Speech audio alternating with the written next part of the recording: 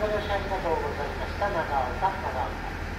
車内にお忘れ物ございませんようご注意ください。16時16分発、普通列車新潟行き、5番線の列車にご乗車ください。新幹線ご利用のお客様、3台新幹線ホームへお進み。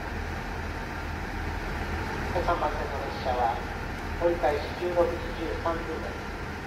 快速三沢市村上越妙高駅